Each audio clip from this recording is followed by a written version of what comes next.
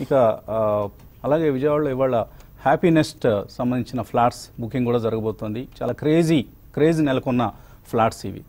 CRDA స్వయంగా నిర్మాణాలు చేపట్టి ప్రజలకు అందిస్తుంది. లాస్ట్ టైం కూడా హ్యూజ్ రెస్పాన్స్ వచ్చింది. ఇవాళ కూడా మరొక ఐ థింక్ నైన్ హండ్రెడ్ ఫ్లాట్స్ని అందుబాటులోకి తీ- తీసుకొచ్చేందుకు బుకింగ్స్ స్వీకరిస్తున్నారు. సో హ్యాపీనెస్ట్లో ఎవరికైతే మన ప్రేక్షకుల్లో కూడా కొంతమంది బుక్ చేసిన అవకాశం ఉంది కాబట్టి వాళ్ళందరికీ ఆల్ ది బెస్ట్ చెప్తోంది TV five.